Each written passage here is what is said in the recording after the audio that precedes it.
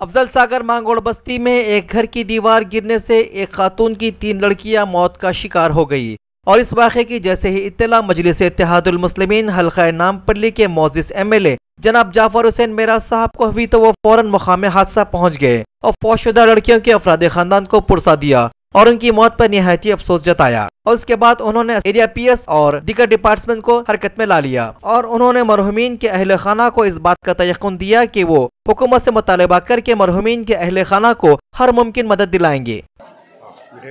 आज अफजल सागर मांगड़ बस्ती के अंदर एक घर में बच्चियाँ चार सो रहे थे उसके बिल्कुल बाजू की एक नई दीवार घर वाले कमोड के लिए उठाए थे वाल जो थी, वो इमीडिएट कच्ची रहने की तरफ़ से वाल गिर गई, जिसमें बच्चियाँ, चार बच्चियाँ जो सो रहे थे, तीन बच्चियाँ, एक बच्ची तो इमीडिएट इंतकाल हो गया था और दूसरों, दो बच्चियों को नीलोफर हॉस्पिटल लेके आए थे। उन लोगों को भी डॉक्टर ने बहुत कोशिश की, उसके बावजूद भी तीन बच्चियाँ मर गए।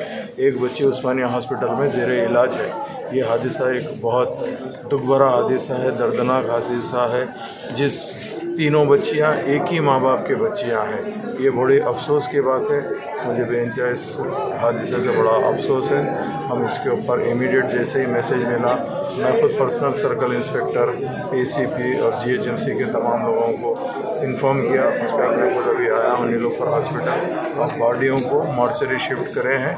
इसका क्या रहेगा इन देखेंगे कल एमआरओ से बात करके उसका पूरा मुआयना के जो होता, इसकी पूरी पूरी कोशिश करके उन लोगों के लिए क्या कर सकते हुकूमत की तरफ़ से, वो ज़रूर करेंगे। बहुत बहुत शुक्रिया।